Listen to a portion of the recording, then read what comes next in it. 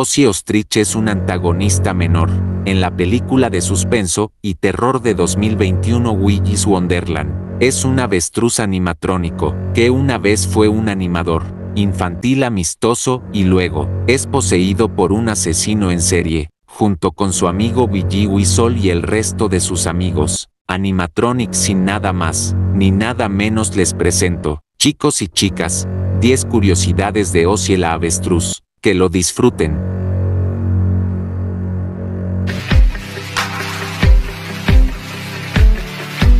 Ozzy fue interpretado por B.J. Guyer y con la voz de Abel Arias, quien también hizo la voz de Tito Turtle en la misma película.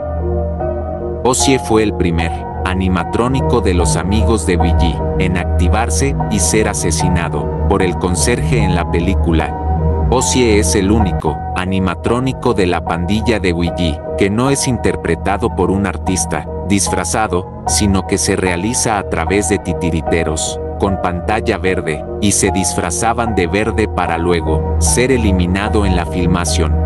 Ozzy es el animatrónico favorito personal del creador. Go Parsons esto nos quiere decir que Go Parsons el equipo de producción que hizo Willy's Wonderland dijo que su animatrónico favorito, de los amigos de Ouija, es Osie. Osie es el sexto de los asesinos, en serie en conocer a Jerry Willis y en ser reclutado por él. Se han preguntado por qué Osie no habla en los cómics. Bueno, yo le he dedicado un video hablando sobre esto. Si gustan el link está en la descripción pero si no tienen el ánimo de hacerlo, no se preocupen que yo se los digo, Osie no habla, en los cómics porque, cuando era solo un niño, su madre lo estranguló, dañándole sus cuerdas vocales, y provocando que se quedara mudo, por el resto de su vida. Esa está la razón por qué, no lo vemos hablar en los cómics precuelas, de Willy's Wonderland.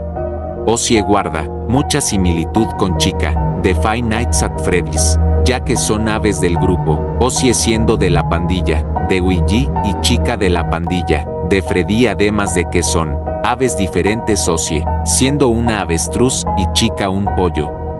Además de Chica, Osie también guarda similitud, a pesar de que los dos son pájaros completamente diferentes. Osie se parece un poco, o al menos se inspiró parcialmente, en Lunibird, de Soubis Pisa, más notablemente, ambos comparten voces similares. Además de las personas, en los flashbacks, Ozzy y Gus son los únicos animatrónicos de los amigos de Ouija que no mataron a ninguno de nuestros personajes humanos, ya que ellos dos fueron los primeros en ser derrotados y asesinados por el conserje. Ozzy es el único animal animatrónico del grupo de Ouija que es anatómicamente exacto a un avestruz real es decir, la altura de Osie, es la misma que de las avestruces reales.